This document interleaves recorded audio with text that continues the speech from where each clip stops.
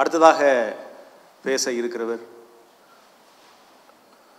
சும்மா சொன்னால் என் உள்ளம் கவர் இந்த கள்வன் அப்படின்னு சொல்ல முடியும். ஏனென்றால் இந்த தலைமுறையில் நவீன இலக்கியத்தை அணுகுவதில் முகநூல்களில் முகநூலில் இருந்து கொண்டு இலக்கியவாதிகளை இலக்கியத்தை அணுகுகிற போதனைகள் செய்யக்கூடிய அல்லது ஏளனம் செய்யக்கூடிய ஒரு பெரிய நசிவு வெளியில் இருந்து வரக்கூடிய நம்பிக்கையான ஒரு தலைமுறை வந்து விக்னேஷ் கரிகரன் ஒரு பெரிய சாட்சி. விஷ்ணுபுரம் மாதிரியான ஒரு இலக்கிய அமைப்பில் தன்னை அடையாளப்படுத்தி கொண்டு நிறைய இலக்கிய நிகழ்வுகளில் மிகவும் தீர்க்கமாக தன்னுடைய அவதானங்களை முன்வைப்பவர். அவரை அன்போடு அழைக்கிறேன். நண்பர்களுக்கு வணக்கம். இப்போது இப்போ மிக விரிவாக முதல்ல பேசின வெனிலா மேடம்க்கு நன்றி சொல்லிக்கணும். ஏன்னா பேச இருந்த பல விஷயங்களை இப்போ அவங்க பேசிட்டதுனால நம்ம கொஞ்சம் கம்மியாக பேசிக்கலாம். அந்த வசதி அவங்க நமக்கு கொடுத்துருக்காங்க. எப்போதும் போல் என்னுடைய உரையை ஆரம்பிக்கிறதுக்கு முன்னாடி ஒரு டிஸ்க்ளைமருடைய ஒன்று இல்லை ரெண்டு டிஸ்க்ளைமருடைய ஆரம்பிப்போம். ஒன்று இந்த நிகழ்வுக்கு கருத்தரங்கம் அப்படின்னு பெயர் வச்சிருக்கிறதுனாலே கருத்தரங்கம்ங்கிறது மிக விரிவான கருத்துக்களால் மட்டுமே ஆகும். புகழுரைகளால் ஆனது அல்ல அப்படிங்கிற ஒரு நம்பிக்கையோட இந்த உரை இருக்கும். அதோடைய அர்த்தம் வந்து எளிமையாக சொல்லணும்னா நாவலுடைய சில நிறை குறைகளையும் சொல்லக்கூடிய உரையாக தான் என்னுடைய இது இருக்கும். அதுக்கான இடம் இருக்குன்னு நான் நம்புகிறேன் ரெண்டாவது என்னுடைய முன்னோடி அப்படின்னு நான் எப்போதும் நினைக்கக்கூடிய கோபாலகிருஷ்ணன் சாருடைய கருத்தரங்கம் இது. அகரன் நான் சொன்ன மாதிரி அவர் இன்னும் கவனிக்கப்படணும் அப்படின்னு நினைக்கக்கூடிய வாசகர்கள் அப்படின்னு அவர் ஒரு பன்மையை குறிப்பிட்டார் இல்லையா? அந்த பன்மையில் இருக்கக்கூடிய ஒருத்தன் தான் ஸோ அந்த இடத்துலேருந்து அவரை பார்த்தாலும் இது ஒரு படைப்பை பற்றின உரையாக தான் இருக்கும். அவர் மீது இருக்கக்கூடிய அதீத மரியாதையோடு சேர்ந்து இந்த படைப்பின் மீதான என்னுடைய கருத்துக்களும் இருக்கக்கூடிய ஒரு உரையாக தான் இது இருக்கும். அதனால் அவர் இன்னைக்கு அடைஞ்சிருக்கக்கூடிய இடம் இருபது வருஷங்களுக்குள்ள கோபாலகிருஷ்ணன் சார் வந்து தமிழ் நாவலாசிரியர்களில் முதன்மையானவர் அப்படின்னு எந்த விதமான சந்தேகமும் இல்லாமல் குறிப்பிடக்கூடிய இடத்துக்கு வந்துட்டார். ஆனால் இந்த அம்மன் நெசவை எழுதும்போது அவரும் ஒரு முதல் நாவல் எழுதக்கூடிய எழுத்தாளர் தான். அப்போது இந்த படைப்பை அதனுடைய அளவில் மட்டுமே வச்சு அளவிடுறதுங்கிறது ரொம்ப முக்கியமான விஷயம்னு நான் நினைக்கிறேன். அவருடைய பிற்கால சாதனைகளை கொஞ்சம் கணக்கில் எடுத்துக்காம அவருடைய ஒரு படைப்பை மட்டுமே அணுக முயற்சி பண்ணுவோம். அந்த விதத்தில் தான் இந்த உரை இருக்கும். நண்பர்களே இந்த அம்மன் நெசவு நாவலை பற்றி பேச ஆரம்பிக்கிறதுக்கு முன்னாடி தமிழில் நாவல் அப்படிங்கிற வடிவத்துக்கு ஆய்வாளர்களுடைய அளவீடுபடி பார்த்தா பிரதாப முதலியார் சரித்திரத்திலிருந்து ஒரு கால வரையறை கொடுக்கப்படுது. பிரதாப முதலியார் சரித்திரம் பத்மாவதி சரித்திரம் கமலாம்பாள் சரித்திரம் இப்படி ஒரு கால வரையறை ஆய்வாளர்கள் தரப்பிலிருந்து அதுக்கு கொடுக்கப்படுது. தோராயமாக ஒரு நூற்றி இருபது நூற்றி முப்பது வருஷங்கள் அதுக்கு கிடைக்கலாம். பட்டு ஒரு நாவல் அப்படிங்கிற வடிவத்துடைய இலக்கணப்படி பார்த்தா தமிழ் நாவல்களுடைய வயசுங்கிறது நூறுக்கு குறைவாக மட்டும்தான் இருக்க முடியுங்கிறது என்னுடைய எண்ணிக்கை. பிரதாப முதலியார் சரித்திரம் வந்து நாவல் அப்படின்னு ஒரு வகைமைக்காக குறிப்பிடப்பட்டாலும் நாவலுக்கான இலக்கணம் மிகச்சரியாக பொருந்தி வந்த ஒரு நாவல் கிடையாது அது. அது நவீன உரைநடைக்கான ஒரு தொடக்க புள்ளின்னு வேணால் வச்சுக்கப்படலாமே ஒழிய நாவலுக்கான தொடக்க புள்ளின்னு வச்சுக்க முடியாது. அப்போது இந்த கால ஆயிரத்தி தொள்ளாயிரத்தி ஐம்பதுகளுக்கு பிறகு அப்படின்னு நம்ம வச்சுப்போம். பாரதி எழுதியிருந்தா புதுமைப்பித்தன் எழுதியிருந்தா மேபி இன்னும் கொஞ்சம் முன்னாடியே நாவல் வந்திருக்கும். அப்படி அவங்க எழுதாததுனால நாவல்ங்கிறது அதையும் தாண்டி தான் நமக்கு தொடங்குதுங்கிறது என்னுடைய அவதானம். அப்போது அப்படி ஒரு காலத்திலிருந்து வரக்கூடிய நாவல் ஆயிரத்தி தொள்ளாயிரத்தி ஐம்பதுலேருந்து ரெண்டாயிரத்தி இருபத்தி மூணு வரைக்கும் ஒரு காலத்துக்குள்ளே தமிழ் நாவல்களுடைய வரிசைப்படி பார்த்தோம்னா திடீர்னு இரண்டாயிரத்துக்கு பிறகு டிஸ்ப்ரப்போர்ஷனேட்டாக அதிகமாக நாவல்களுடைய வருகையும் வளர்ச்சியும் இருந்திருக்கு.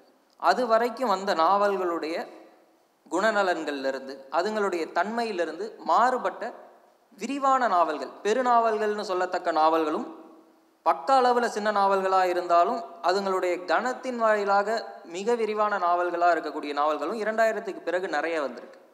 அதுக்கு முன்னாடியே கல்யாண சுந்தரம் மாதிரியான ஆட்கள் அதை எழுதியிருக்காங்க. எம்எஸ் கல்யாண சுந்தரம் மாதிரியான ஆட்கள் ஆரம்பத்திலேயே இதுக்கான விரிவான நாவல்களை எழுதியிருக்காங்க. நாவல்னு வகைமைப்படுத்தக்கூடிய ரொம்ப தெளிவான நாவல்களை எழுதியிருக்காங்க. ஆனால் டிஸ்ப்ரொபோஷனேட்லி ஹை க்ரோத் அப்படின்னா இரண்டாயிரத்துக்கு பிறகு வந்த நாவல்களை சொல்லணும்.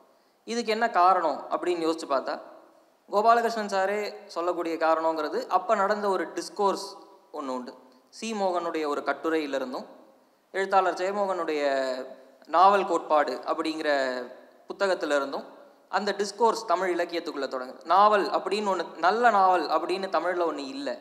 அப்படிங்கிற கிளைம்லேருந்து அப்போ நல்ல நாவல்னா என்ன? அப்படிங்கிற உரையாடல் தொடங்கி அதிலிருந்து ஒரு நாவல் வ இந்த நாவல்களுடைய வளர்ச்சி ஏற்பட்டிருக்கு. அப்படிங்கிறது கோபாலகிருஷ்ணன் சார் சொல்லக்கூடிய ஒரு தரப்பு. என்னை பொறுத்த வரைக்கும் இன்னொரு ரெண்டு காரணங்களையும் சேர்த்துக்கலாம் அப்படின்னு தோணுது. ஒன்று கணினியுடைய பரவலாக்கம். கம்ப்யூட்டரும் பிரிண்டிங் டெக்னாலஜியும் ரொம்ப சகஜமாக எல்லா இடத்துலையும் புழங்க தொடங்கின காலம். கையால் ஒரு பெருநாவலை எழுதுறதை விட டைப் படிக்கும்போது இன்னும் ஈஸியாக அதை ஸ்டோர் பண்ணுறதுக்கு ஈஸியாக அந்த தொழில்நுட்பம் கொடுத்த வசதி வந்து பெருநாவல்களுக்கும் நாவல்களை பற்றின கனவுகளுக்கும் ஒரு பெரிய ஆதாரமாக அமைஞ்சிருக்கும். இரண்டாவது முக்கியமான காரணம் அண்ணாச்சி இங்கே இருக்காருங்கிறதுனால இல்லை. தமிழினிங்கிற ஒரு முக்கியமான பதிப்பகம் உருவானது அதுக்கு ஒரு முக்கியமான காரணம்னு நான் நம்புகிறேன் நாவல்களுக்காக மட்டுமே நாவல்களை முன்னிலைப்படுத்தக்கூடிய நாவல்களுடைய இலக்கணம் அறிந்து நாவல்களை முன்னிலைப்படுத்தக்கூடிய புதிய தலைமுறை நாவல்களை உருவாக்கின ஒரு பதிப்பகம் வந்து தமிழினி. அதோடைய வ அதோடைய வருகைக்கு அப்புறம் தமிழில் நாவல்களுடைய விரிவும் நாவல்களுக்கான அளவும் கணிசமாக மாறி போச்சு இப்போ யோசித்து பார்த்தா இன்னைக்கு தமிழுடைய முதன்மையான நாவலாசிரியர்கள் அப்படின்னு சொல்லக்கூடிய ஜெயமோகன் யுவன் சந்திரசேகர் எம் கோபாலகிருஷ்ணன் சு வேணுகோபால். இப்படி அத்தனை பேரும் அவங்களுடைய முதல் நாவல்கள் எத்தனையும் தமிழில் தமிழ்னியிலேருந்து கொண்டு வந்திருக்காங்க. ஜெயமோகன் ரப்பரை கொஞ்சம் முன்னாடியே கொண்டு வந்துட்டார். ஆனால் இப்போ யோசிச்சு பார்த்தா அத்தனை பேருக்கும் தமிழினியோடைய பின்புலம் இருந்திருக்கு. அப்போது இந்த நாவல் சார்ந்த உரையாடலும் நாவல் சார்ந்த ஒரு புரிதலும் இரண்டாயிரத்துக்கு பிறகு வருது. இந்த இடத்துல தான் அம்மன் நெசவுடைய வருகையும். இரண்டாயிரத்தி இரண்டில் அம்மன் நெசவுடைய வருகை. அம்மன் நெசவு இந்த ஃப்ரெஷ் வே இந்த நியூ வேவ் நாவல்களுக்குள்ளேருந்து வந்த ஒரு முக்கியமான படைப்பு. அப்போ அம்மன் நெசவுக்கு முன்னோடி படைப்புன்னு எதுவுமே கிடையாதா? அம்மன் நெசவு வந்து சுயம்புவாக முளைச்சி வந்த படைப்பா அப்படின்னா அதுவும் இல்லை. அம்மன் நெசவுக்கு தமிழில் நேரடியாக யாரை கேட்டாலும் சொல்லக்கூடிய முன்னோடி படைப்புங்கிறது கோபால கிராமம் கோபால கிராமத்திலேருந்து அம்மன் நெசவுக்கு நேரடியாக ஒரு பயணத்தை நம்ம மேற்கொள்ள முடியும். ஆனால் கொஞ்சம் விடு கொஞ்சம் யோசித்து பார்த்தா கொஞ்சம் விரிவாக யோசித்து பார்த்தா இந்த ஃபார்மேட் ஒரு கிராமத்தை பற்றி பேசக்கூடிய ஒரு கிராமத்தை களமாக கொண்டு உலகத்தை பற்றியோ நாட்டை பற்றியோ வரலாற்றை பற்றியோ துன்பங்களை பற்றியோ பேசக்கூடிய நாவல்ங்கிறது தமிழுக்கு ரொம்ப சகஜமான ஒரு க- களம்தான். புளியமரத்தின் கதை இருக்குது ஒரு கடலோர கிராமத்தின் கதை இருக்குது இப்படி எண்ணற்ற நாவல். ஆனால் புளியமரத்தின் கதைக்கோ கடலோர கிராமத்தின் கதைக்கோ அம்மன் முன்னோடி அப்படின்னு சொல்லக்கூடிய ஸ்தானம் கிடைக்காததுக்கு காரணம் அதில் இருக்கக்கூடிய நவீனத்துவ பார்வை ஒன்று அது வெளியே இருந்து அந்த உலகத்தை பார்க்குது. அந்த உலகத்தின் மீது விமர்சனங்களை வைக்குது. சுந்தரராமசாமி புளியமரத்தை ஒரு மெட்டஃபராக யூஸ் பண்ணுவார். அந்த மெட்டஃபர் மேலே அவர் விமர்சனங்களை வைப்பார். அது ஒரு நாளும் அந்த கிராமத்துடைய வாழ்க்கையில் கலக்காது. அந்த சுந்தரராம சாமிக்குள்ளே அது கலக்காது. அப்போது அது ஒரு நவீனத்துவ பார்வை. அதுதான் தோபில் முகமது வீரானுக்கும் இருந்தது. அப்போது இப்படி ஒரு ஸ்பேஸ்க்குள்ளே கோபால கிராமம் மட்டும்தான் தனியாக ஆட்மேன் அவுட்டாக அந்த இடத்துல இருந்திருக்கு. அங்கேருந்து அம்மன் நெசவுக்கு ஒரு பயணம் இருக்கு அம்மன் நெசவு வந்து கோபால கிராமம் மாதிரி ஆட்மேன் அவுட்டாக வராமல் இந்த தரப்பை முன்னில முன்னிலைப்படுத்தக்கூடிய நாவல்களுடைய பெருநிறைகளில் ஒன்றாக வந்தது. அப்போது இந்த இடத்துல இருந்து அம்மன் நெசவுக்கு ஒரு தனித்துவமான முக்கியத்துவம் இருக்குது அப்படிங்கிறது தான் என்னுடைய நம்பிக்கை. ஏ- ஏற்கனவே குறிப்பிட்ட ஆவினிலா மேடம் குறிப்பிட்டது போல இது ஒரு எக்ஸோடஸ் நாவல் அப்படின்னு பெரும்பாலும் வகைமைப்படுத்தப்படலாம். புலம்பெயர்வை பற்றிய நாவல். புலம்பெயர் வாழ்க்கை. அதில் இருக்கக்கூடிய அது- அதில் வரலாற்றில் நிகழக்கூடிய அபத்தம். அதன் கொடுமை. இப்படி அதுக்கு மேல் போக்கில் ஒரு அரசியல் தளம் இருக்குது இன்னொரு பக்கம் அதுக்கு ஒரு சாதிய ஒடுக்குமுறை சார்ந்த அரசியல் தலை ஒன்று இருக்குது ஆனால் எனக்கு என்னென்னா இதெல்லாம் எழுதுறதுக்கு இந்த புலம்பெயர் வாழ்வை வந்து எழுதுறதுக்கு ஒரு வரலாற்று ஆசிரியன் போதும். ஒரு சாதிய ஒடுக்குமுறையை பற்றி எழுதுறதுக்கு ஒரு ஆய்வாளன் போதும். எனக்கு நாவலாசிரியன் வேண்டாம். அப்போ நாவலாசிரியர் இதில் செய்ய வேண்டியது என்ன? இந்த பெரிய வரலாறும் காலமும் தொன்மமும் அங்கே இருக்கக்கூடிய ஒரு வாழ்வோட கலக்கணும். அந்த வாழ்வுடைய ஒவ்வொரு நா அதோடைய முரண்களோடையும் அதில் இருக்கக்கூடிய அத்தனை விதமான ஏற்ற இறக்கங்களோடையும் நுண் சித்தரிப்புகளோடையும் அது கலந்து வரும்போது தான் அது நாவலாகுது. அப்போது இந்த வரலாறு தொன்மம் இது எல்லாமே அதோடைய பின்புலம் தான் முன்னாடி இருக்க வேண்டியது அந்த வாழ்வு தான் அந்த வாழ்வு அம்மன் நெசவில் கூறப்பட்ட அளவு அதற்கு முன்பு வேறு எந்த விதமான எக்ஸோடஸ் நாவல்களிலும் கூறப்பட்டது இல்லை. அப்படிங்கிறது தான் அம்மன் நெசவுக்கு முதல்ல கிடைக்கக்கூடிய தனித்துவமான இடம். அதுக்கு துணை நாவலாக வந்த நுண்வெளி கிரணங்கள் மட்டும்தான். அது கூட சேர்த்து இதே அளவுக்கு விரிவாக அந்த வாழ்க்கையை பேசின நாவல்னு நம்ம சொல்ல முடியும். அப்போ இந்த இட இந்த எக்ஸோடஸ் நாவல் அப்படிங்கிற வகைமையோ இல்லை சாதிய ஒடுக்குமுறையை பேசுகிறது அப்படிங்கிற வகைமையோ தாண்டியும் கூட அம்மன் நெசவுக்கு இவ்வளவு விரிவான ஒரு வாழ்க்கையை நம்ம கண்ணு முன்னாடி காட்டுது. அப்படிங்கிற ஆச்சரியம் தான் இந்த கிரா இந்த நாவலுக்குள்ளே இந்த தளங்கள் எல்லாமே ஒன்றோட ஒன்று இப்போ நான் பேசும்போது பிரித்து பிரித்து பேசினாலும் நாவலுக்குள்ளே இந்த தளங்கள் எல்லாம் ஒன்றோட ஒன்று ஊடும் பாவமாக கலந்து கலந்து விளையாடக்கூடிய அந்த விளையாட்டு இருக்கு இல்லையா? அந்த விளையாட்டில் தான் எனக்கு வந்து இதை இது நாவலாக சுவாதீனப்படுத்துது.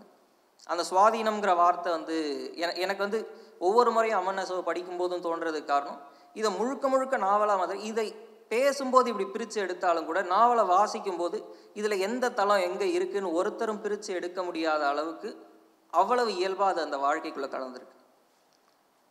நஞ்சப்பனுக்கும் உன்னம்மாளுக்கும் இப்போ கதையை நான் விரிவாக சொல்ல வேண்டிய அவசியம் இல்லை. ஏன்னா வெண்ணிலா மேடம் அதை முன்னாடியே சொல்லிட்டாங்க. ஓ நஞ்சப்பனுக்கும் உன்னம்மாளுக்கும் அந்த அம்மன் நெசவு விழுந்த உடனே ஏற்படக்கூடிய முதல் உணர்வுங்கிறது பதட்டம் தான் பயம்தான்.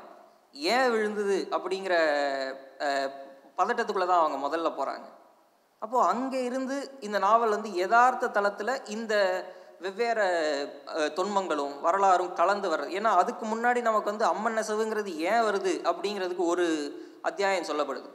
அவங்களுடைய வரலாற்றை பற்றின ஒரு அத்தியாயம் ஒரு சின்ன துணுக்கு நமக்கு கொடுக்கப்படுது. அதுலேருந்து நம்மளால் அதை விரித்து எடுத்துக்க முடியுது. அது இந்த யதார்த்த வாழ்வோடு வந்து சங்கமிக்கக்கூடிய இடத்துல ஏற்படக்கூடிய அந்த முரணும் பதட்டமும் இருக்கு இல்லையா? அங்கிருந்தே இந்த நாவல் வந்து ஒரு முழுமையான நாவலாக டேக் ஆஃப் ஆக ஆரம்பிச்சிருது. இப்போது இதுக்குள்ளே இருக்கக்கூடிய இந்த வெவ்வேறு தளங்களை பிரித்து நம்ம பார்க்கணும் அப்படின்னு முடிவு பண்ணோம்னா முதல்ல வந்து இந்த தேவாங்கர் குலத்துடைய வரலாறு சுல்தனேட்டுகளுடைய படையெடுப்பு உஜ்ஜயினியிலிருந்து ஒரு புலம்பெயர்வு அதுக்கப்புறம் விஜயநகரத்துக்கு திரும்ப ஒரு படையெடுப்பு அந்த படையெடுப்புலேருந்து இன்னும் தென்ன தென்னகத்தை நோக்கின ஒரு விதமான புலம்பெயர்வு. இவங்க இதுக்கு நடுவில் அந்த சௌடேஸ்வரிங்கிற தங்களுடைய தெய்வத்தையும் அவங்களுடைய தொழிலான நெசவையும் கையோட கொண்டு வர வேண்டியது இருக்குது நெசவை பற்றி இதுக்கு முன்னாடி தமிழில் ஓரளவுக்கு எழுதப்பட்ட ஒரே நாவல் வந்து வேல்வித்தி தான். அது தவிர நெசவை பற்றின பெரிய நாவல்கள் எதுவும் எழுதப்பட்டிருக்கிறதா எனக்கு தெரியல. ஆனால் நெசவுடைய வரலாற்றை பற்றி நெசவுடைய இந்த இந்த தொழில் எங்கேருந்து வந்திருக்கு அப்படிங்கிற வரலாற்றை பற்றின எந்த விதமான குறிப்பும் வேல்வித்தியில் இருக்கிறது இல்லை. அப்போது இந்த வரலாறு வந்து இங்கே வரும்போது நாம் பார்க்கக்கூடிய இந்த உமையஞ்செட்டிப்பாளையம் அப்படிங்கிற இந்த ஊரும் நஞ்சப்பன் உண்ணமாங்கிற மாதிரியான சராசரி மனிதர்களும் அவ்வளவு பெரிய கண் தொடர்ச்சியில் ஒரு கண்ணியாக வந்து நிற்க முடியுது. அதை உருவா அதை வந்து ஒரு சாப்டர் முடிஞ்சு அடுத்த சாப்டர் வர்றதுக்குள்ளே நமக்கு அது அந்த அந்த பிரஜையை வந்து நாவல் உருவாக்கிடுது. இது ஒரு மனிதனை பற்றின கதை இல்லை ஒரு கிராமத்தை பற்றின கதை இல்லை. இது வேற ஏதோ ஒரு பெரிய வரலாற்று தொடர்ச்சியில் இருக்கக்கூடிய ஒரு கண்ணியை பற்றின கதை. இந்த ஒரு கண்ணியை நீங்கள் பார்க்குறதன் மூலமாக இந்த வரலாற்று தொடர்ச்சியுடைய ஒட்டுமொத்த சங்கிலியை நீங்கள் பார்க்க முடியும் அப்படிங்கிற இடத்த அது உருவாக்குது. இந்த வித்தியாசம் வந்து ரொம்ப ரொம்ப முக்கியமாக இது வந்து இதுக்கு முந்தின படைப்புகளில் நான் ஏற்கனவே சொன்ன மாதிரி கொஞ்சம் கூட இல்லாத ஒரு தன்மை. அங்கே ஒரு கிராமங்கிறது ஒரு கிராமம் தான் ஒரு கடலோர கிராமத்தின் கதைங்கிறது ஒரு கடலோர கிராமத்தின் கதை தான் அதை விரித்து விரித்து பார்த்தா நம்மளுடைய சமகால விமர்சனங்களை வேணால் அதன் மீது வைக்க முடியுமே தவிர அதிலிருந்து அந்த சமூகத்துடைய ஒட்டுமொத்த வரலாற்றை நோக்கின பயணத்துக்கான சாத்தியம் ரொம்ப ரொம்ப குறைவாக தான் அதில் உள்ளே கொடுக்கப்படுது. ஆனால் இங்கே ஒரு முதல் அத்தியாயத்திலிருந்து ரெண்டாவது அத்தியாயம் தொடங்குறதுக்குள்ளே இப்படி ஒரு பெரிய கிராண்ட் பிக்சர் நம்ம கண்ணு முன்னாடி உ- உருவாக்கப்படுது. அப்போ இந்த வரலாறுங்கிறது இந்த இடத்துல தான் ரொம்ப முக்கியமானது. காலங்காலமாக புலம்பெயர்வு நடந்திருக்கு படையெடுப்புகள் நடந்திருக்கு. அதனால் மக்கள் பாதிக்கப்பட்டிருக்காங்க. இது ஒரு இது ப்ராட் ஸ்ட்ரோக்கில் சொல்லப்பட்டால் அது வெறும் தகவல் மட்டும்தான். ஆனால் அது இந்த வாழ்க்கையோட கலக்கும்போது தான் அது வந்து புனைவு. அப்போ அந்த புனைவுக்கான இடத்த வந்து நாவல் அங்கே தான் உருவாக்குது. இந்த வரலாற்றுடைய முக்கியத்துவங்கிறது இந்த நாவலுக்குள்ள அதுதான் அப்படிங்கிறது எனக்கு தோணும் இது ஒரு ஒரு ஊரை பற்றின கதை இல்லை அப்படிங்கிற பிரஜையை நமக்கு உருவாக்குறது தான் இந்த வரலாற்றினுடைய முதல் முக்கியத்துவம் அப்படின்னு நான் நினைக்கிறேன். இரண்டாவது இதோடைய அரசியல் தளம். நான் ஏற்கனவே சொன்ன மாதிரி எக்ஸோடஸ் நாவல் சாதி அரசியலை பேசக்கூடிய நாவல் இன்னும் இதெல்லாம் மேல் மேல் புறத்தில் இருந்தால் இன்னும் அடியில் மாடர்னைசேஷனை பற்றின வேற ஒரு அரசியலும் இதுக்குள்ளே இருக்க தான் செய்யுது. திருப்பூரில் மில்கள் உருவாகிறதும் புதிய அரசியல் கொள்கைகள் உருவாகிறதும். இதுக்கு முந்தின தலைமுறையை பற்றி இந்த நாவல் பேசியிருந்தா நஞ்சப்பன் உண்ணமாவுடைய தலைமுறை இல்லாமல் அதுக்கு முந்தின தலைமுறையான பூசாரியுடைய தலைமுறையை பற்றி இந்த நாவல் பேசியிருந்தா அதுக்கு இந்த இடம் இருந்திருக்கவே இருந்திருக்காது. ஏன்னா அந்த தலைமுறைக்கு இந்த கான்ஃப்ளிக்ட்டுங்கிறது எஸ்டாப்ளிஷ் ஆகவே இல்லை. இந்த புதிய மாடர்னைசேஷன் தான் இந்த கான்ஃப்ளிக்டை உருவாக்குது. ஏற்கனவே இருந்த உலகத்துடைய சாதிய அமைப்புகளும் அது சார்ந்த விழுமியங்களும் இதுக்கு முன்னாடி இருந்த தலைமுறையால் முழுமையாக ஏற்றுக்கொள்ளப்பட்டிருக்கும். ஆனால் அடுத்த தலைமுறைக்கு வரும்போது தான் அதுக்கு அது ஒரு முரணாகவே தெரியுது. அப்போ அந்த முரணுடைய தலைமுறையை ஐடென்டிஃபை பண்ணுது. அங்கே மாடர்னைசேஷன் சார்ந்த ஒரு அடிப்படையான கமெண்ட் ஒன்று இருக்குது அது முழுக்க முழுக்க சார்பாகவோ எதிராகவோ பேசலை. இந்த நாவலுடைய எந்த பகுதியிலையும் இது சார்பு நிலை எடுக்குதுன்னோ எதிர்ப்பு குரல் கொடுக்குதுன்னோ நம்ம எந்த விதமான எளிமையான வகைப்படுத்தல்களுக்குள்ளேயும் போகவே முடியாது. இந்த நாவல் வந்து அந்த முரண்களை தொடர்ந்து பேசிகிட்டே தான் இருக்குது ஒ- எல்லா விஷயங்களுக்கும் இருக்கக்கூடிய இரண்டு பக்கங்களையும் காட்டிகிட்டே தான் இருக்குது இல்லை பல பக்கங்களை அது காட்டிகிட்டே தான் இருக்குது அப்போது அந்த அளவுக்கு இந்த அரசியல் வந்து இங்கே ரொம்ப இந்த தலைமுறையை ஐடென்டிஃபை பண்ணி இந்த தலைமுறையுடைய அரசியலை பேசுகிறதன் மூலமாக அதை ரொம்ப ரொம்ப காத்திரமாக பேசுகிறதன் மூலமாக இந்த நாவல் வந்து ரொம்ப முக்கியத்துவம் பெறுது. அரசியலை காத்திரமாக பேசுது தான் இன்னும் கொஞ்சம் காத்திரமாக பேசியிருக்கிற இன்னும் கொஞ்சம் காத்திரமாக பேசியிருக்கலாம் அப்படிங்கிற ஒரு எண்ணமும் எனக்கு உண்டு. அதை நம்ம பின்னாடி பேசுவோம். ஆனால் இவ்வளவு தீவிரமாக இவ்வளவு நேர்மையாக இந்த அரசியலை பேசுகிறதன் மூலமாகவும் இந்த நாவலுக்கு முக்கியத்துவம் கிடைக்குது. இதெல்லாம் மேலே இருக்கக்கூடிய ரெண்டு தலங்கள் ஆனால் நான் முதல்ல சொன்ன மாதிரி என்ன எப்போதும் கவரக்கூடிய தலம்ங்கிறது அதுக்குள்ளே இருக்கக்கூடிய வாழ்வு தான் இந்த மேல் தலங்கள் எல்லாமே இந்த வாழ்வோடு இணையும் போது மட்டும்தான் எனக்கு அந்த நாவலுக்குள்ள ஒரு அசோசியேஷன் இருக்குது எனக்கு அந்த நாவலோட என்ன நானே அதுக்குள்ளே பொருத்தி பார்க்குறதுக்கு ஏதோ ஒரு இடம் இருக்குது அதுதான் புனைவுடைய இடம் புனைவுடைய வேலைன்னு நான் நம்புகிறேன் அது எனக்கு கொடுக்க வேண்டியது ஒரு அனுபவத்தை தான் அனுபவம் சார்ந்த வியாக்கியானங்களை கிடையாது. அந்த வியாக்கியானங்களை வாங்குறதுக்கு எனக்கு வெவ்வேறு இடங்கள் இருக்குது அப்போ இந்த இடத்துல அது எனக்கு அந்த அனுபவத்தை கொடுக்குதா? அப்படின்னா ரொம்ப ரொம்ப தெளிவாக ரொம்ப ரொம்ப காத்திரமாக அப்படி ஒரு அனுபவத்தை இது எனக்கு கொடுத்துருக்கு அப்படின்னு தான் நான் சொல்லணும். ஏன் கொடுத்துருக்கு? அப்போது முதல் விஷயம் நான் முதல்ல சொன்ன அந்த வரலாறு இருக்கு இல்லையா? அந்த வரலாறு வந்து இங்கே ஒரு கிராமத்துடைய இடத்துல கிராமத்தை ஒரு கன்னியாக வச்சு பேசுது அப்படின்னு நான் சொன்னேன். அந்த வரலாறு வந்து நஞ்சப்பன் கிட்டேயோ உன்னம்மா கிட்டேயோ வந்து சேரும்போது ஏற்படக்கூடிய முதல் ரியாக்ஷன் அவங்களுடைய பதட்டம். அந்த பதட்டத்துக்கான காரணங்கிறது என்னுடைய அன்றாட வாழ்க்கையை வந்து இந்த வரலாறு குலைக்கக்கூடியது. இந்த தொன்மம் குலைக்கக்கூடியது. அவங்க கும்பிடக்கூடிய சௌடேஸ்வரி தான். உயிரை பணயம் வச்சு காப்பாற்றி கொண்டு வந்த சௌடேஸ்வரி தான். தலைமுறை தலைமுறைகளாக கைமாற்றி கொண்டு வந்த சௌடேஸ்வரி தான். ஆனால் அவளுக்கு பூசாரியப்பன் வீட்டில் இருக்கிற வரைக்கும் பிரச்சனை இல்லை. அவள் நஞ்சப்பன் வீட்டுக்குள்ளே நுழையணும்னு முடிவு பண்ணும்போது நஞ்சப்பனுக்கு அது உருவாக்கக்கூடியது பெரிய சந்தோஷத்தையோ கிளர்ச்சியோ கிடையாது. அது ஒரு அன்றாட யதார்த்தம். அவனுடைய வாழ்க்கையில் அதுக்கப்புறம் ஏற்படக்கூடிய அத்தனை விதமான மாற்றங்களுக்கும் உமையஞ்செட்டிப்பாளையத்துடைய ஒட்டுமொத்த வாழ்க்கையில் ஏற்படக்கூடிய அத்தனை விதமான மாற்றங்களுக்கும் அவளுடைய இடப்பெயர்வு தான் காரணம் அப்படிங்கிறது நாவலுக்குள்ள ஒரு சப்டெக்ஸ்டாக ஓடிக்கிட்டே இருக்கு. அது ஏன்? அப்படி ஒரு முரணை அங்கே ஏன் உருவாக்கணும்? ஏன்னா உயிரை பணையம் வச்சு காப்பாற்றி கொண்டு வந்த ஒருத்தியை வீட்டுக்குள்ளே வராங்கங்கும்போது நேரடியாக சந்தோஷமாக ஏற்றுக்க முடியாத அளவுக்கு அங்கே ஒரு யதார்த்தம் என்ன இருக்குது அந்த யதார்த்தத்திலிருந்து அந்த யதார்த்தத்துடைய முரண்ல இருந்து தான் எனக்கு இது முதல் படியில் நாவலாக மாறுது. இவ்வளவு பெரிய வரலாறு. அது என் வாழ்க்கையில் வந்து கலக்காத வரைக்கும் வேற ஒரு இடத்துல தனியாக அது ஒரு பார்வை காட்சி பொருளாக இருக்கிற வரைக்கும் எனக்கு அதோட எந்த விதமான பிரச்சனையும் இல்லை. ஆனால் அது என் வாழ்க்கையோட நேரடியாக தொடர்பு படுத்த தொடங்கும் போது எனக்கு அதோடைய முரண்கள் பிரச்சனையாகுது. இரண்டாவது அதோடைய அரசியல் தளத்தை பற்றி பேசணும். இந்த அரசியல் தளத்தை நேரடியாக பேசுகிறதுக்கும் விமர்சிக்கிறதுக்கும் ஆய்வாளர்கள் போதுமே. அப்போ இந்த வாழ்வுக்குள்ள அது என்னவாக இருக்குது வாழ்வுக்குள்ள அதோடைய முரண்கள் சார்ந்ததாக இருக்குது அடிப்படை தேவைகளுக்கு இந்த வாழ்க்கையை வந்து ஆண் ஆட் ஆதிக்க சாதியை வந்து சார்ந்திருக்கக்கூடிய ஒரு சமூகம்.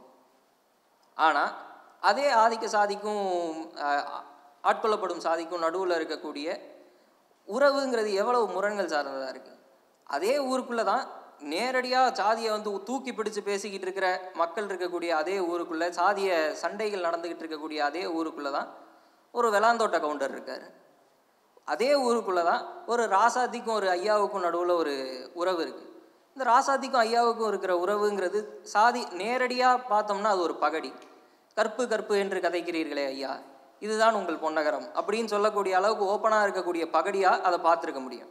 ஆனால் அந்த இடத்துல அது அப்படி பார்க்கப்படலை. அந்த உறவுக்கு ஒரு உண்மைத்தன்மை கொடுக்கப்படுது. அந்த உறவு ரொம்ப ஜெனுவினாக தான் அந்த இடத்துல இருக்குது அது அந்த சாதிய கட்டுப்பாடுகளுக்கெல்லாம் அப்பாற்பட்டு தான் அந்த இடத்துல இருக்குது அதே அளவுக்கு முக்கியமான உறவு தான் மயில்சாமிக்கும் ஆராய்க்கும் இருக்கக்கூடிய உறவு. அதையும் நம்ம வந்து அந்த சாதியின் மீதான பகடியாக மட்டும் பார்க்க வேண்டியதில்லை.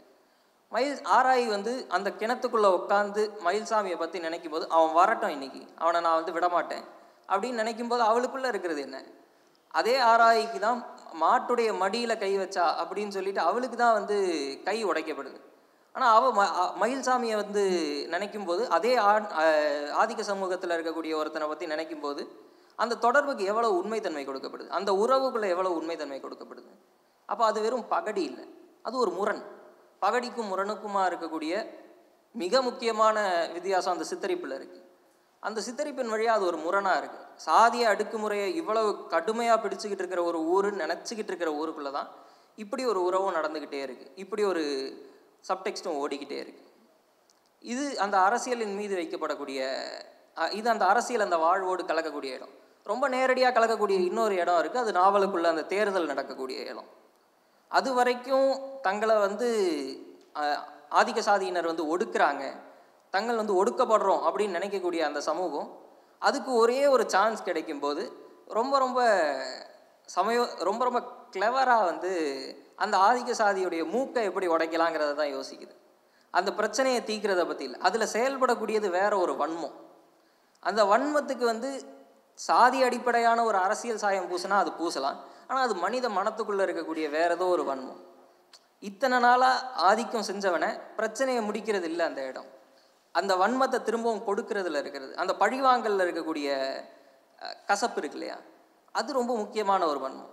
இது அந்த அரசியல் தளங்கள் அதுக்கப்புறம் நடக்கக்கூடிய விஷயங்கள் தொடர்ந்து நாவலுக்குள்ளே இருக்குது இது அந்த அரசியல் தளங்கள் அந்த வாழ்க்கைக்குள்ள இன்ட்ராக்ட் பண்ணக்கூடிய இடம். மூணாவதாக இதில் இருக்கக்கூடியது தொன்மம். சௌடேஸ்வரியுடைய தொன்மம்.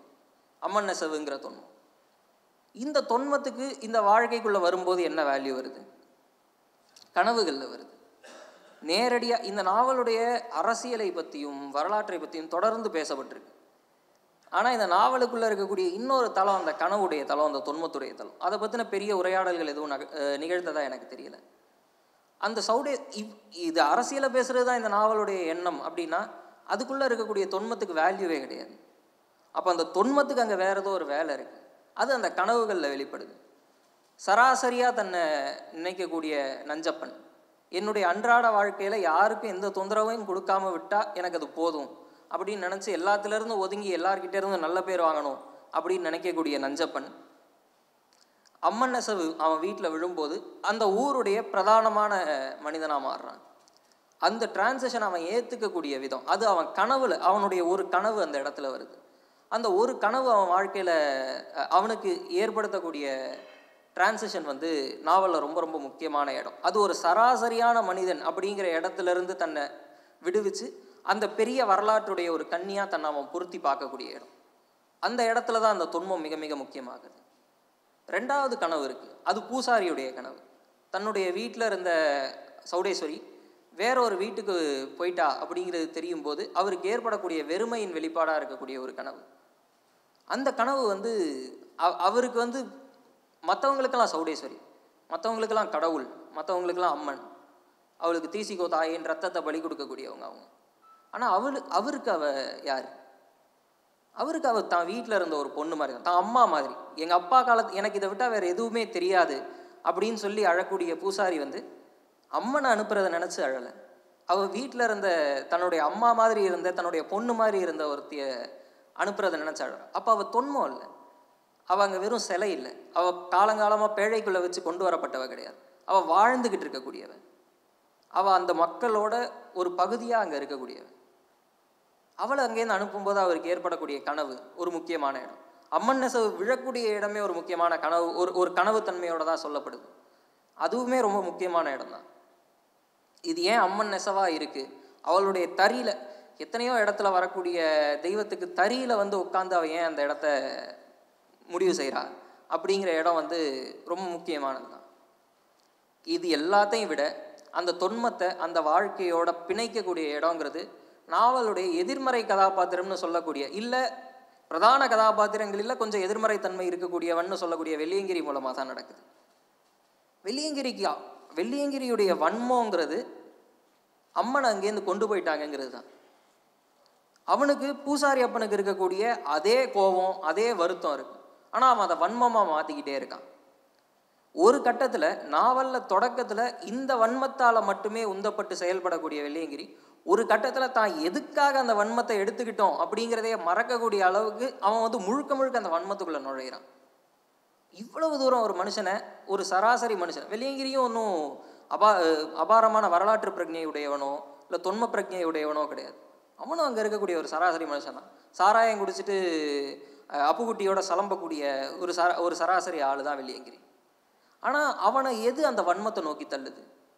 அந்த வன்மம் அளவற்ற அன்புலேருந்து வருது. அவன் அம்மன் மேலே வச்சுருந்த ஒரு அன்புலேருந்து வருது. இல்லை அம்மன் மூலமாக தான் அவன் தனக்கான அடையாளம் இருக்குன்னு நம்புகிறான் அந்த இடத்துலேருந்து அவனுக்கான வன்மமும் பிறக்குது. அந்த அடையாளம் இல்லை இனிமே அம்மன் எனக்கு இல்லை அப்படிங்கிற இடத்துலேருந்து அவனுக்கான வன்மம் பிறந்து அந்த வன்மம் திரிஞ்சு திரிஞ்சு திரிஞ்சு திரிஞ்சு அவன் எதுக்காக அந்த வன்மத்தை கையில் எடுத்தானோ அது இல்லை. அது மறந்து போனாலும் முழுமையான வன்மம் மட்டுமே மிஞ்சி மிஞ்சி இருக்கக்கூடிய ஒரு கசப்பை நோக்கி அவன் போகிறான் இந்த கதாபாத் எனக்கு ஒட்டுமொத்த நாவலில் வெள்ளியங்கிரி அளவுக்கு மனசில் நின்று இன்னொரு கதாபாத்திரம் இல்லைன்னு தான் சொல்லணும். அப்போது அவ்வளவு தீ தீர்க்கமான அன்புலேருந்து அவ்வளவு கசப்பான ஒரு வன்மை எங் எப்படி பிறகுது அந்த முரண் இருக்கு இல்லையா? அந்த முரண் இந்த தொன்மம் இந்த வாழ்வோடு சேரும்போது வர்றது. இதுதான் எனக்கு இந்த நாவலில் வந்து தொன்மம் இந்த வாழ்க்கையோட இணையக்கூடிய தருணமாக இருக்குது இப்போ இந்த மாதிரி இந்த நாவலுக்குள்ள வெவ்வேறு இடங்களில் இந்த முரண்கள் ஒன்னோட ஒன்னோட ஒன்னோட ஒன்று கலந்து கலந்து முன்னேறிக்கிட்டே இருக்கக்கூடிய இந்த தன்மை இருக்கு. எனக்கு இதுதான் ரொம்ப முக்கியமானது அப்படின்னு தோணுது. இந்த முரண்கள் தொன்மத்துடைய அளவில் வரலாற்றுடைய அளவில் அரசியலுடைய அளவில் இப்படி இருந்தால் அந்த வாழ்க்கைக்குள்ளே இருக்கக்கூடிய தன்னளவிலான முரண்கள் இருக்கு இல்லையா? அதையும் நாவல் சித்தரிக்கக்கூடிய ஆழம் அது எனக்கு பிரமிப்பு கொடுக்குது. இவ்வளவு பெரிய நாவல் இவ்வளவு சாதிய முரண்கள் நடந்துக்கிட்டு இருக்கு மோதல்கள் நடந்துக்கிட்டு இருக்கு உமையஞ்செட்டிப்பாளையத்துடைய எதிர்காலம் என்னவா இருக்க போகுதுங்கிற கேள்வி இருக்கு. அந்த கேள்விக்கு நடுவில் தான் ஒரு கித்துநூல் கழகம் வரும். அந்த கித்துநூல் கழவனுடைய வருகை அங்கே என்னவா இருக்கு? நூல் இல்லைனாலும் பரவாயில்ல அப்படின்னு கடலையும் வெள்ளமும் கொடுத்துட்டு போகக்கூடிய அந்த கித்துநூல் கழவனுக்கு அந்த நாவலுக்குள்ள என்ன வேலை? இது அரசியலை தானே பேசணும். அப்போ நாவலுக்குள்ளே கித்துநூல் கிழவன் ஏன் வரணும்? அதுதான் ஒரு முழுமை. அதுதான் இந்த நாவலை ஒரு முழுமையான நாவலாக அது. இந்த நாவலுடைய அரசியல் தளத்துக்கு தொடர்பு இல்லாத இந்த நாவலுடைய தொன்ம தளத்துக்கு தொடர்பு இல்லாத இந்த நாவலுடைய வரலாற்று தளத்துக்கு தொடர்பு இல்லாத வேற ஒரு அழகான வாழ்க்கை. அதே மாதிரி தான் வெண்ணிலா மேடம் சொன்ன அந்த ராசாமணி அப்படிங்கிற கதாபாத்திரம் வந்து சோறு கொடுக்கக்கூடிய இடம். அந்த ஊருக்குள்ளே அப் அந்த ராசாமணி கதாபாத்திரம் சோறு கொடுக்கக்கூடிய இடம் வர்றதுக்கு முன்னாடி தான் அந்த தேர்தல் நடந்து அடுத்த கட்டத்தில் அந்த ஊர் என்னவா இருக்க போகுது அப்படிங்கிற கேள்வி இருக்கக்கூடிய இடம். அந்த இடத்துல ஒரு ராசாமணி வந்து எல்லாருக்கும் ஊரில் இருக்கிறவங்க எல்லாருக்கும் சோறு அந்த குழந்தைங்களுக்கு சோறு கொடுக்கக்கூடிய இடம் இருக்குல்ல. இந்த முரண் இருக்குல்ல. இவ இதுதான் எனக்கு இதை நாவலாக மாற்றுது இதோடைய பெரிய வரலாற்று தலங்களோ தொன்ம தலங்களோ இல்லைன்னா கூட இந்த வாழ்வு தன்னளவில் கொண்டு இருக்கக்கூடிய முரண்களும் அழகும் அதுதான் எனக்கு வந்து அம்மன் நெசவு ஒரு முக்கியமான நாவலாக மாற்றுது அதுக்கப்புறம் இந்த நாவலுக்குள்ளே வரக்கூடிய அந்த இன்னொரு கதாபாத்திரம் மந்திரவாதி.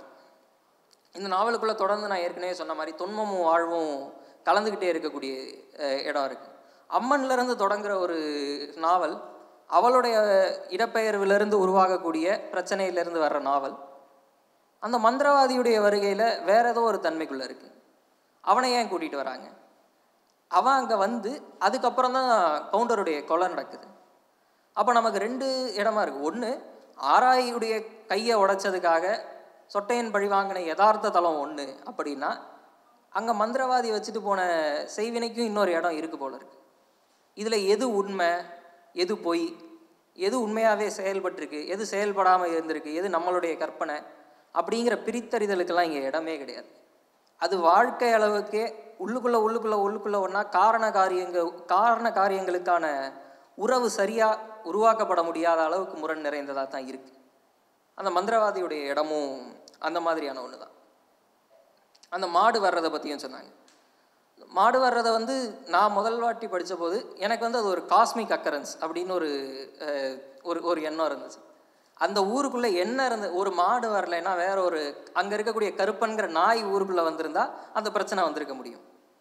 அந்த பிரச்சனை அங்கே ஏற்கனவே அடியில் வெளிப்படையாக பார்க்கும்போது இரண்டு சமூகங்களும் ஒருத்தரை ஒருத்தர் சார்ந்து ரொம்ப சுமூகமாக வாழற மாதிரி தெரிஞ்சாலும் அதுக்கு கீழ் தளத்தில் அதுங்க எல்லாத்துக்கும் நடுவில் இருக்கக்கூடிய முரணும் சண்டையும் அவங்களுக்குள்ளே இருந்த பூசலும் வன்மமும் இருந்துக்கிட்டே தான் இருந்திருக்கு. வெளிப்படுறதுக்கான ஒரு ஒரு தருணம் ஒரு ஒரு பாயிண்ட் ஒரு டிப்பிங் பாயிண்ட் மட்டும்தான் அவங்களுக்கு தேவைப்பட்டிருக்கு. அந்த டிப்பிங் பாயிண்ட் அங்கே ஆஃபர் பண்ணுறது ஒரு மாடு. எனக்கு ஆனால் வெண்ணிலா மேடம் சொல்லும்போது தான் இதை நான் இப்படி நினச்சிருந்தேன். ஆனால் வெண்ணிலா மேடம் சொல்லும்போது தான் சரி அது ஒரு சைக்கிள் வராமல் எதுக்காக அந்த இடத்துக்கு ஒரு மாடு வருது அப்படிங்கிற ஒரு கேள்வி எனக்கு இருந்தது. அது ஒரு சைக்கிள் வந்துருக்கு யாரோ ஒரு பையன் சைக்கிள் ஓட்டிகிட்டு வந்து பாவ உடச்சிருக்கலாமே. அந்த இடத்துக்கு ஏன் ஒரு மாடு வரணும் அப்படிங்கிற ஒரு எண்ணம் வந்துச்சு. எனக்கு அப்போ ஒரு மாதிரி மனசுக்குள்ளே கனெக்ட் பண்ணி பார்த்தபோது அந்த கவுண்டர்களுக்கு அங்கே மாடுங்கிறது எவ்வளவு முக்கியமான விஷயமா இருக்குது அவங்க சமூகத்துக்கு மாடும் அதன் மீது இருக்கக்கூடிய பெருமை இவங்களுக்கு நெசவு எப்படி இருக்கோ அந்த அளவுக்கு தான் கவுண்டர்களுக்கு தோட்டமும் அவங்களுடைய ஆணிரைகளும் இருக்குது அப்போ அங்கேருந்து ஒரு காலமாடு வந்து இந்த பாவை உடைக்கிறதுங்கிறது ரொம்ப பொருத்தமான ஒரு விஷயம் அப்படின்னு எனக்கு தோணுச்சு. இந்த அளவுக்கு உள்ளுக்குள்ளே உள்ளுக்குள்ளே உள்ளுக்குள்ளே இந்த முரண்கள் கலந்து எனக்கு அந்த முரண்களுடைய மூட்டை தான் வந்து ஒரு நாவலை வந்து ரொம்ப யதார்த்தமானதாக மாற்றுது ஏன்னா நேரடியான காரணகாரிய உறவுகளை நம்மளால் உருவாக்க முடியுது. இதிலிருந்து இதுக்கு வந்திருக்கோம் அப்படிங்கிற உறவுகளை நம்மளால் அதில் உருவாக்கிக்க முடியுது அப்படின்னா அது வாழ்க்கையை விட்டு ஏதோ ஒரு இடத்துல விலகி இருக்குது அப்படிங்கிற எண்ணம் எனக்கு உண்டு. ஏன்னா வாழ்க்கையில் அப்படி ஒன்றும் ரொம்ப தெளிவான காரணகாரிய உறவுகளை நம்ம உருவாக்கிக்கிறது இல்லையே. அப்போது ஏதோ ஏன் நடக்குதுன்னு தெரியாத ஆனால் தவிர்க்க முடியாத ஒரு டோமினோ எஃபெக்ட் மாதிரி ஒன்றை தொட்டு ஒன்றை தொட்டு ஒன்றை தொட்டு ஒன்றை தொட்டு நடக்கக்கூடிய ஒரு ஒரு பெரிய சங்கிலி இங்கே உருவாகுது. அந்த சங்கிலியை முதல் அத்தியாயத்தையும் கடைசி அத்தியாயத்தையும் எடுத்துட்டு பார்த்தா ஒரு கிராமத்துடைய ஒரு காலத்தில் நடக்கக்கூடிய சங்கிலி.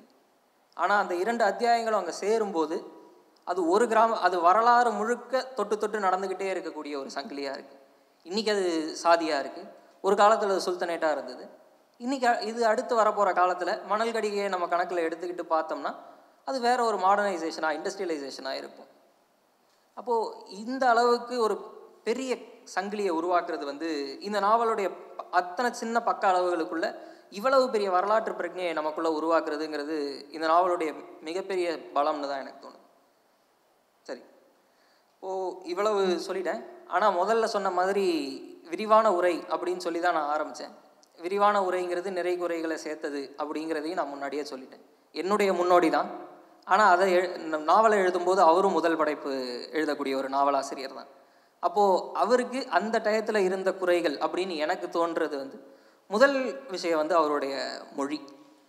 அந்த மொழி வந்து பல இடங்களில் ரொம்ப கச்சிதமாக இருக்குது உரையாடல்கள் எழுதும்போது ரொம்ப பிரமாதமாக இருக்குது ஆனால் சித்தரிப்புகளுக்கு வரும்போது ஏற்கனவே கவிதை எழுதிக்கிட்டு இருந்த சூத்திரதாரி தான் இங்கே வந்து நாவலாசிரியர் எம். கோபாலகிருஷ்ணனாக உட்காந்துருக்காரு அப்படிங்கிறத நம்மளால் பார்க்க முடியுது. அவருடைய சித்தரிப்புகளில் இருக்கக்கூடிய அந்த கவித்துவ மொழி இருக்கு இல்லையா? அது வந்து ஒரு கவிஞருடைய ஹேங் ஓவர் அப்படின்னு தான் எனக்கு சொல்ல தோணுது. அது வந்து அந்த மொழி காளை மாட்டுடைய கொம்புகளுக்கு இடையில் சூரியன் தெரிந்தது அப்படிங்கிற மாதிரியான சித்தரிப்புகள் ஆரம்பித்து அது அந்த நாவலுக்கு சேர்க்கக்கூடிய வேல்யூன்னு ஒன்று இருக்குது அதை நான் மறுக்கலை. அது அந்த நாவலுடைய அனுபவ தளத்தை எந்த விதத்துலையும் சீண்டலை எந்த விதத்துலையும் அதை சிதைக்கலை. அதெல்லாம் நான் ஒத்துக்கிறேன். ஆனால் அந்த இடத்துல ஒரு நாவலாசிரியர் இல்லை.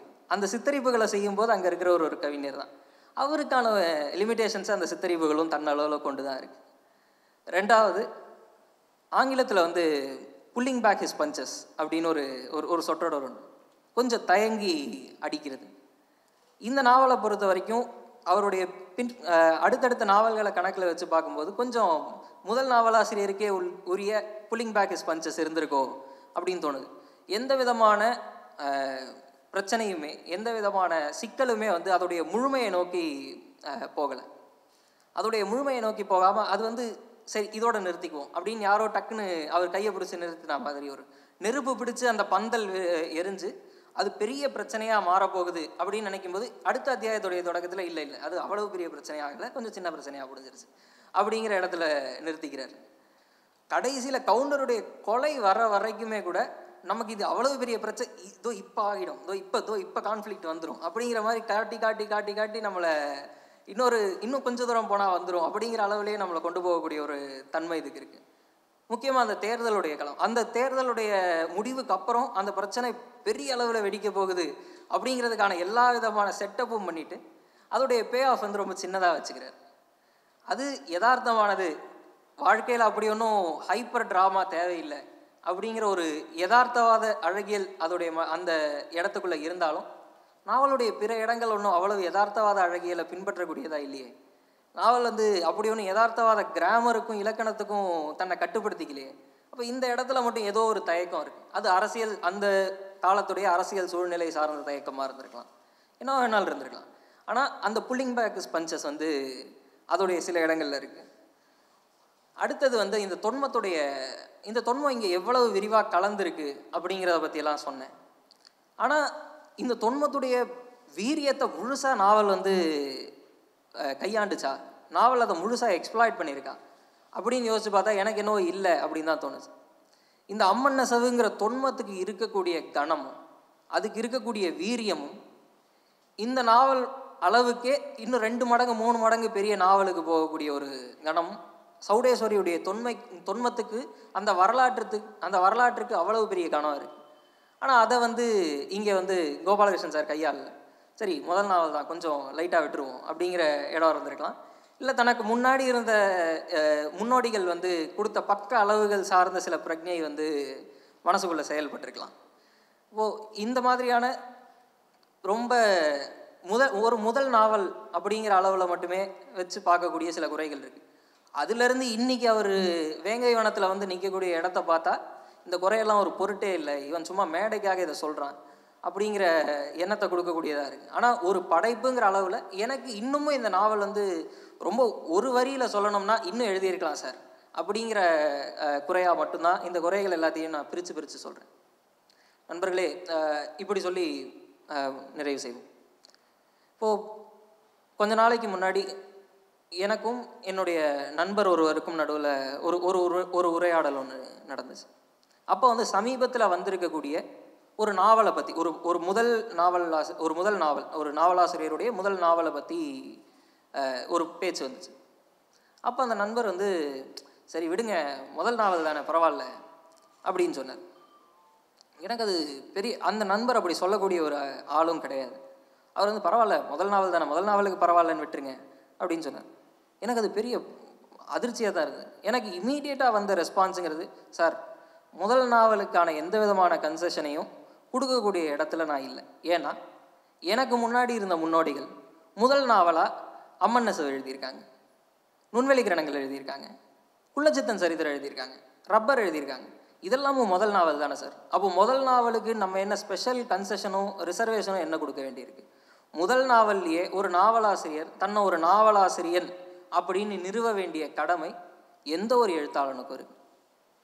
அப்போது முதல் நாவலில் தன்னை ஒரு நாவலாசிரியராக கோபாலகிருஷ்ணன் சார் நிறுவி இருக்காரா அப்படின்னா இவ்வளோ தூரம் பேசினதுக்கப்புறம் அந்த சந்தேகத்துக்கு இடமே இருக்காது அப்படின்னு தான் நான் நம்புகிறேன் அந்த முதல் நாவலுடைய முடிவிலேயே நமக்கு தமிழுடைய மிக முக்கியமான நாவலாசிரியர் ஒருவனுடைய வருகை இது அப்படிங்கிறது ரொம்ப ரொம்ப தெளிவாக தெரிஞ்சிருது. அதை எனக்கு பட் எனக்கு பர்டிகுலராக அதை சுவாதீனப்படுத்தின இடங்கிறது நான் இது வரைக்கும் சொன்ன இடங்களை தாண்டி. முதல் அத்தியாயத்தில் மல்லிச்சட்டி அந்த சவுடேஸ்வரி அம்மன் அந்த பேழையில் வச்சு கொண்டு போய் வெண்ணிலா மேடம் சொன்ன மாதிரி அது அது ஆற்றுல விழுந்துடும் கடைசி அத்தியாயத்தில் பொம்மி செட்டி தன்னுடைய பேழைக்குள்ளே வந்து சவுடேஸ்வரியை வைக்கும்போது சவுடேஸ்வரி கூடயே அவங்களுடைய குழந்தையையும் வைப்பான். அழகிரியுடைய குழந்தையன்னு நினைக்கிறேன். அழகிரியுடைய குழந்தையையும் அதே பேழைக்குள்ளே வச்சு தலையில் தூக்கிட்டு போவான். அந்த லேர்னிங் இருக்குல்ல. அந்த அந்த லேர்னிங் தான் ஒரு நாவலாசிரியனை எனக்கு கண்ணு முன்னாடி காட்டுது. அந்த லேர்னிங்கில் இருந்து தான் ஒரு அது ஒரு லேர்னிங் இல்லை. அது ஒரு மல்லிச்சட்டியுடைய லேர்னிங் இல்லை ஒரு பொம்மிச்சட்டியுடைய லேர்னிங் இல்லை. அது ஒரு இனத்துடைய லேர்னிங் அது வேற எதையோ அந்த இடத்துல கற்றுக்குது இதுக்கு நிகராக வேற ஏதோ ஒன்று வைக்க பழகுது. இல்லை இது அளவுக்கே முக்கியமான வேற ஏதோ ஒன்று அங்கே இருக்குங்கிற ஒரு கண்டடைதல் அந்த இனத்துக்கு ஏற்படுது. இதுதான் எக்ஸோடஸ் நாவல்கள்லேயே ரொம்ப ரொம்ப முக்கியமான இடத்த நோக்கி அம்மன் நெசவை கொண்டு போகக்கூடிய இடம் எனக்கு. ஏன்னா இந்த கண்டடைதல் வந்து ஒரு நாவலாசிரியன் அதை எழுதும்போது அவன் அந்த ஒட்டுமொத்த சித்திரத்தையும் அவன் கண்ணு முன்னாடி பார்த்துட்டான். இந்த சின்ன சித்திரத்தையும் இந்த நுண் சித்திரத்தையும் அவன் பார்த்துட்டான். அந்த பெருஞ்சித்திரத்தையும் அவன் பார்த்துட்டான். அப்படிங்கிறத எனக்கு அது கண்ணு முன்னாடி காட்டுது. அதிலிருந்து என்னால் நஞ்சப்பனை புரிஞ்சுக்க முடியுது. அதுலேருந்து என்னால் உன்னமாலை புரிஞ்சிக்க முடியுது. என்னால் வெள்ளியங்கிரியை புரிஞ்சிக்க முடியுது. சௌடேஸ்வரி அந்த உமையஞ்செட்டி பாளையத்துக்கு என்னவா இருக்கான்னு புரிஞ்சுக்க முடியுது. இங்கிருந்து திருப்பூருக்கு போகக்கூடிய அந்த மக்கள் எதை கொண்டு போவாங்க எப்படி கொண்டு போவாங்க அவங்க எதை எதனால் அங்கேருந்து விரட்டப்படுறாங்க எங்கேருந்து விரட்டப்பட்டாலும் அவங்க கூடயே அவங்க நிலத்தை அவங்க கொண்டு போகக்கூடிய விதமும் எனக்கு வந்து அந்த ஒரு வரியில் எனக்கு புரிஞ்சிருது. அந்த இடம்தான் தமிழுடைய முதன்மையான நாவலாசிரியர் ஒருவருடைய வருகையை நமக்கு ஆணித்தரமாக அடித்து சொல்லக்கூடிய இடம். அந்த இடத்துல அம்மனசு மிக மிக முக்கியமான நாவலாக மாறுது அப்படின்னு நினைக்கிறேன். வாய்ப்பளித்த நண்பர்களுக்கு நன்றி. வணக்கம். நன்றி விக்னேஷ் கரிகரன் விக்னேஷ் கரிகரன் வந்து ஒரு ஐந்து நிமிடங்கள் அதிகமாக உரையை தொடர்ந்த பொழுது காலம் கருதுக என்ற ஒரு குறிப்பை எழுதி வைத்துக்கொண்டு சரி கொடுத்து விடலாம் என்று நினைக்கும் பொழுதெல்லாம் வந்து உரையினுடைய உச்சங்களை எல்லாம் தொட்டு கொண்டிருக்கிறார். அப்படின்றதுக்காக ஒரு காத்திருந்து பார்த்து கொண்டே இருந்தேன். இதற்கு பிறகு உரையின் உச்சத்தை தொடுவதற்காக செல்வேந்திரன் போன்றவர்கள் எல்லாம் இருக்கிறார்கள். ஆனால் அவர்களுக்கெல்லாம் நாம் காலம் கருது என்கிற எழுதிய துண்டை கையளித்து விடுவோம் என்கின்ற அறிவிப்போடு விக்னேஸ்வரியரனுடைய உரை வந்து நஞ்சப்பனுடைய வீட்டில் அம்மன் நெசவு விழுந்த மாதிரி அவருக்குள் அம்மன் நெசவு விழுந்திருக்கு அப்படின்னு எனக்கு தோணுச்சு அவருடைய உரையில். ஒரு சிறந்த உரை அதாவது ஆவணிலா அவர்களுடைய உரையை அடியொற்றி அதை சொல்லி அதிலிருந்து தன்னுடைய பார்வையை முன்வைத்த விதம். மிக்க நன்றி. விக்னேஷ் கரிகரன் அவர்களுக்கு கவிஞரும் ஆவணப்பட இயக்குனருமான என்னுடைய அன்பு சகோதரர் ரவி சுப்பிரமணியன் அவர்கள் இந்த நினைவு பரிசீலனை வழங்கி கௌரவிப்பார். அவரை அன்போடு மேடை கலைக்கிறேன்